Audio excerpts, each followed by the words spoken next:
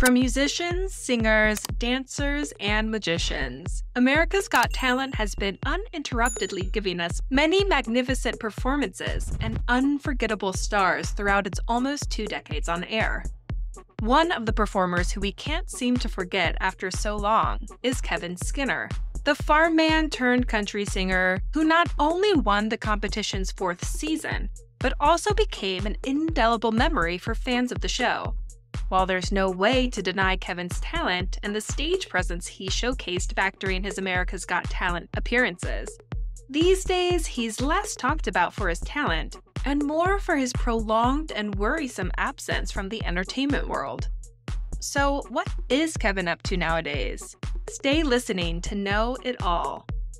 Unfortunately, not much is known about Kevin Skinner's current whereabouts. Despite the fame and acclaim he gained upon his America's Got Talent victory in 2009, Kevin stayed active for a while and even released two albums before he disappeared from the public spotlight.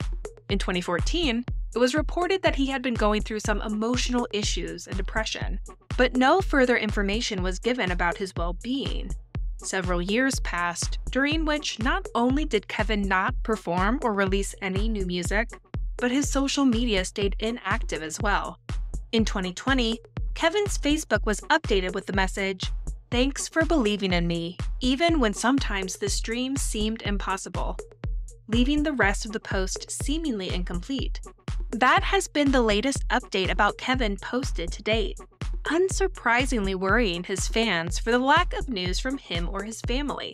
So, where is Kevin now? The answer to that question is unfortunately unknown, but there's nothing else for us but to wish that Kevin is alright, even if he's away from the spotlight. Kevin Skinner's prolonged disappearance from public life is sad news for everyone who fell in love with his voice and personality during his America's Got Talent performances.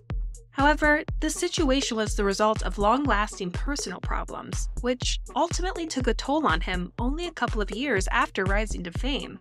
The first signs that something wasn't right with Kevin's career started in 2012 when he canceled several scheduled shows without much of an explanation.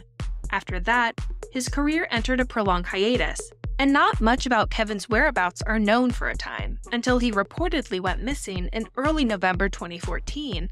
According to Radar Online, Kevin suffered a fall in unknown circumstances near his home in Graves County, southwest Kentucky. It was Kevin himself who called his family for help. They in turn reported the accident to the Kentucky State Police, but Kevin was nowhere to be found. Kevin was eventually located after a golden alert was emitted by authorities and afterward underwent a medical examination. As one friend revealed to Radar Online at the time, Kevin had been suffering from depression caused by his sudden divorce a couple of years prior.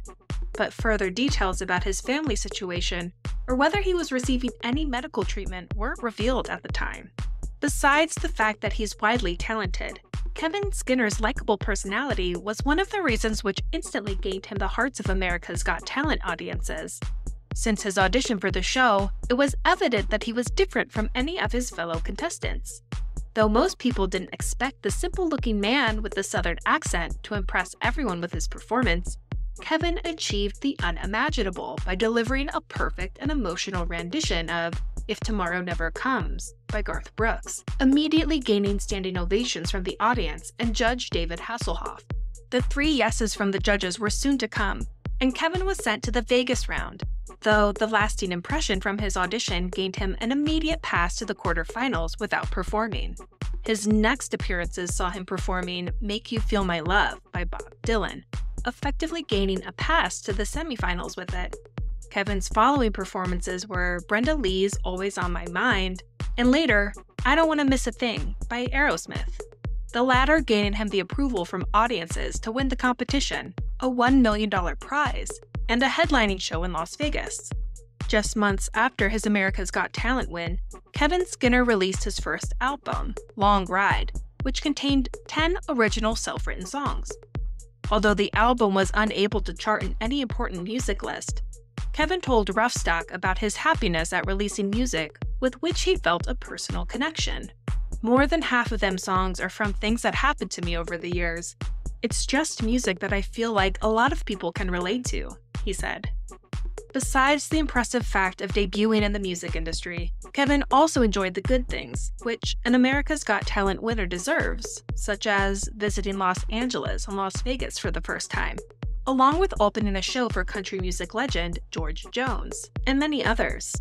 Kevin also performed in important TV programs such as The Ellen DeGeneres Show and The Tonight Show with Conan O'Brien, along with releasing his so far only music to date, entitled like It's the Last Goodbye from his first album.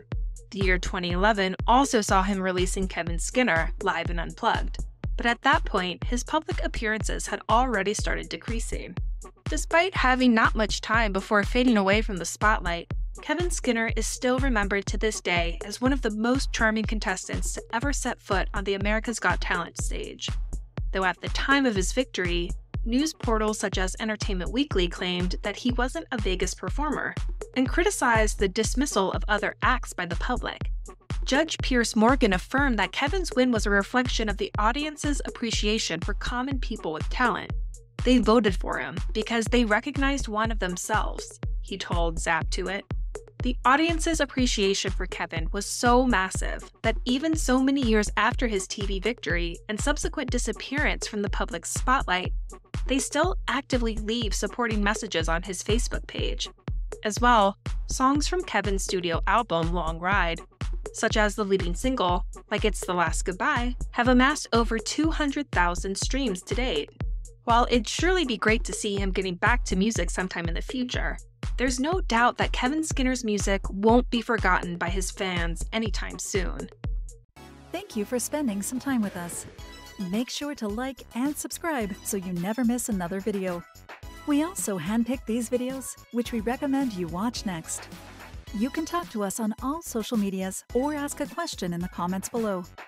Thank you for being with us, and we'll see you back tomorrow.